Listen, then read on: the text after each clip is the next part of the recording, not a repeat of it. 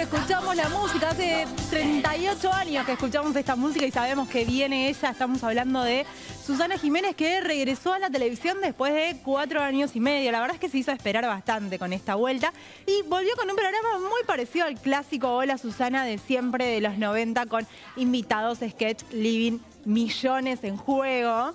Porque recordemos, hace un tiempo Susana había vuelto, pero con estos especiales. Esto no tiene nada que ver con los especiales que hizo con Sebastián Yatra o Wanda Nara. Este es el programa de Susana, cómo lo conocemos y cómo nos gusta. Ahí estamos viendo algunas de las imágenes del sketch que fue sin dudas estelar. Tuvo unos 16 invitados aproximadamente.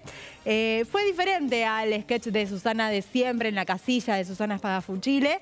Eh, habían dicho que no se iba a hacer porque ya no estaba Emilio Dizzi, no estaba Sofovich, que era el, guionista, pero lo hicieron y fue una, como te digo, una gran sucesión de estrellas. Nico Vázquez, Yayo, Jorgelina Ruzzi, que hace de amiga de Susana, Iván de Pineda, Guillermo Coppola, Juan Pablo Barsky, eh, y así un montón de famosos, entre ellos Rodrigo, eh, Rodrigo De Paul y Leandro Paredes, ahí lo estamos viendo a De Paul con Peter Lanzani. ¿Y quién estuvo al final del sketch? Fue la frutillita del postre, porque esto ya se sabía. Ya, habíamos visto unos algo. Bueno, mira quién estuvo al final.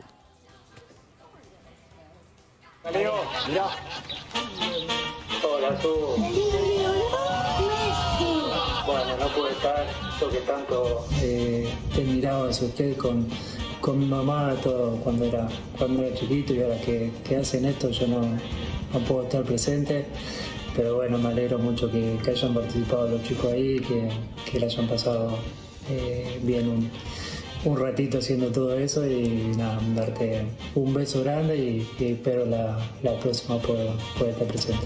Chao, un beso.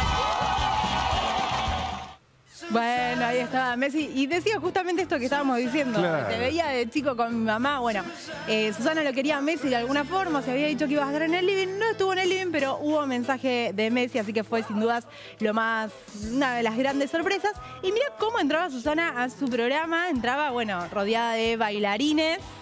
Hubo ahí como un repaso entre varias canciones de, los, de las diferentes aperturas de Susana de todos los años. Por ejemplo, detrás de todo solo hay una mujer. Y ahí ingresa ella, divina, espectacular.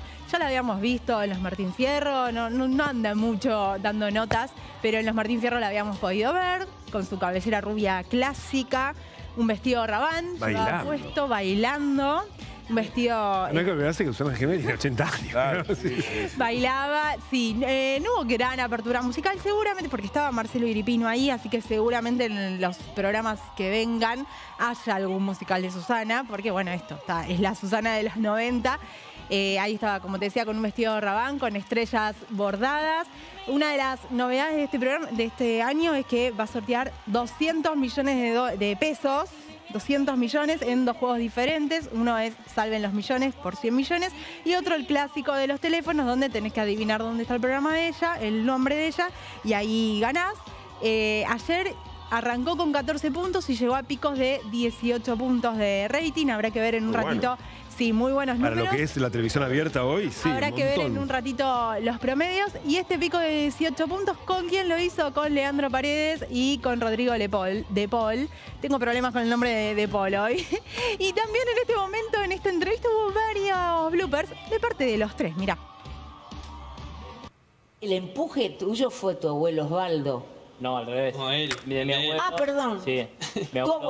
mi abuelo me acompañó mucho tiempo. Ah, yo pensé que el de él me equivoqué. bueno, lo mismo. Entonces, oye, me, y, y, vos, tu mamá, Mónica. No, Mónica es la de él. Dale, sube, dale. Parece que te pasaron mal Espera un momento. ¿Qué, qué no puede ser que el primer día yo me, me equivoque. No, no puede ser. Ahí me dijeron que el perfume de Messi es riquísimo, que a ustedes les gusta. A mí me gusta mi perfume. ¿Quién me escribió lo del perfume? tampoco que porque sea Messi te, te Bueno, pero me dijeron que el que más el que perfume que más les gusta es el de Messi. Leandro, ¿vos estás casado esperando un bebé? Yo sí, no lo había contado todavía, pero. Ay, perdón. a mí me lo dijeron, o sea que sabe. Yo estaba con un modelo de esa época que se llamaba Ante Garmasi, que era croata. Yo digo, no hablemos en español. ¿Era tu novio? No, no, no, no, no. Les digo, no hablemos en español, te lo pido. Te juro por Dios que no. No, no, antes. ¿Amigo obvio? No era gay. Este, pero, pero éramos amigos, muy amigos, te juro. No, no. Ahí veíamos algunos bloopers que se confundía entre ellos. Ellos tampoco sabían. chicos, ¿eh? Tuyo fue Se arremaron bien los chicos, buena onda. Sí, bueno, sí, es Ah, Susana, perdón. si no Bueno. buena onda. Eh, ella también se la remó cuando le insistieron que había pasado con Antearmas. No, no pasaba nada. Los dos son los más ¿cuántas veces me mediáticos de la selección, ¿no? Se bancan Eh, también. Bueno, eh, para agendar, eh, Messi va a estar acá en Argentina el fin de semana del 13 de octubre, porque jugamos eh, el 10 en Venezuela y el 15 en, eh, acá en Argentina. Así que bueno, ¿A vos te No, parece que que el en el medio de la concentración Messi ir a lo de Susana? Es Messi. Pero- No, Messi, no, no deja de ser el capitán, no sé, no sé. Tal vez el posterior y se quede un Ah, par de días. sí, digo, digo, el fin de semana Ok. que está Messi en Argentina es el 13, Y 13 sí. de octubre, no sé. bien. Bueno, un ahí dato, estamos ¿no? produciendo el programa de Susana en vivo. También hubo truco, jugó al truco con los dos eh, jugadores y con Guillermo Coppola, que la acompañó. Ella es muy cómplice con Coppola, que también había estado en el sketch. Quería invitar a Darín, pero bueno, Darín está en España. Así que ahí hubo varios bloopers, pero no solo se equivocó con ellos. Después también hubo un momento bastante divertido porque se confundió María Becerra con Tini Stoessel. No. Ya ahora el look de María Becerra está con el pelo corto, castaño claro, bueno, muy parecido al corte de pelo que se había hecho Tini hace muy poquitito. Y le dijo, bueno, vos venís de grabar con Coldplay. No, no, no, yo no.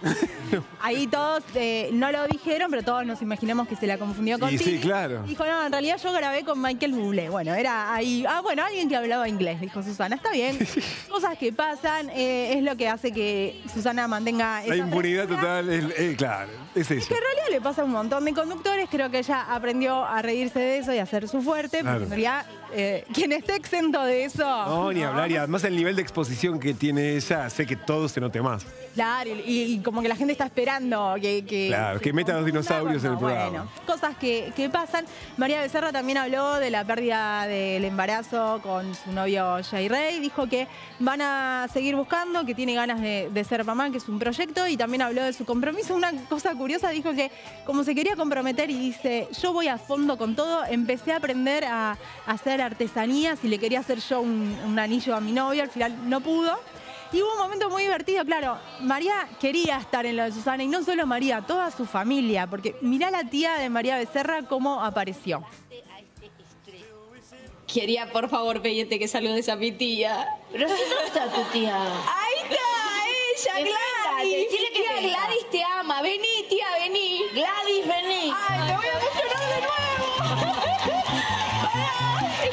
Ama!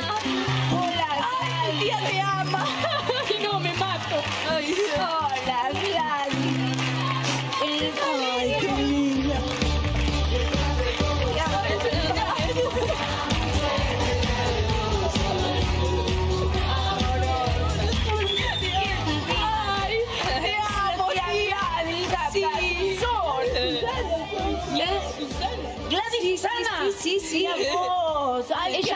ama con su vida, por eso quería nada, que la ¿En saludara. serio?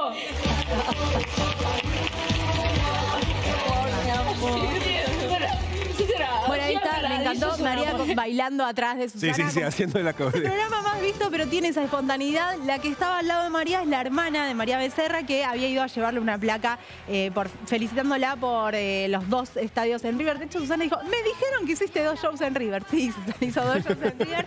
Eh, Y otro estaba- ¿Qué planeta. pasa de Marco? ¿A ¿Cuántas generaciones? Sí. Claro, y esta cosa... Algo raro, le pregunta, ¿y a ella la conoces? ¿Y no es también la sobrina? No, dijo, no, lo dijo, ella la conoce. Claro. Este, bueno, y esta cosa que tiene Susana así de, de, bueno, de espontaneidad y de que está con grandes estrellas y también con la tía que no es famosa, pero la sigue desde hace muchos años. Muy divertido el regreso de Susana. Eh,